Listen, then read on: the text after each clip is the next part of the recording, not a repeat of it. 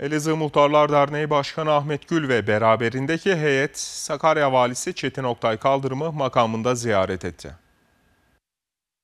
Elazığ Muhtarlar Derneği Başkanı Ahmet Gül ve beraberindeki mahalle muhtarları önceki dönem Elazığ'da görev yapan Sakarya Valisi Çetin Oktay Kaldırım'a Sakarya'da ziyarette bulundu.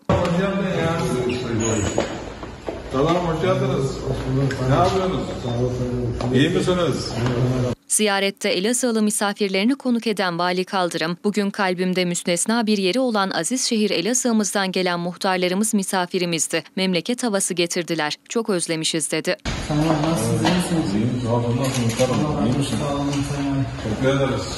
Elazığ Muhtarlar Derneği Başkanı Ahmet Gül, 2017-2020 yılları Elazığ Valiliği görevini başarılı bir şekilde yürütmüş, şimdiki Sakarya Valisi Sayın Çetin Oktay Kaldırım'ı ziyaret ederek hasret giderdik. Elazığ ve Elazığlıları bağrına basan Sayın Valimize misafirperverliği için teşekkür eder, çalışma hayatında muvaffakiyetler dileriz ifadesinde bulundu.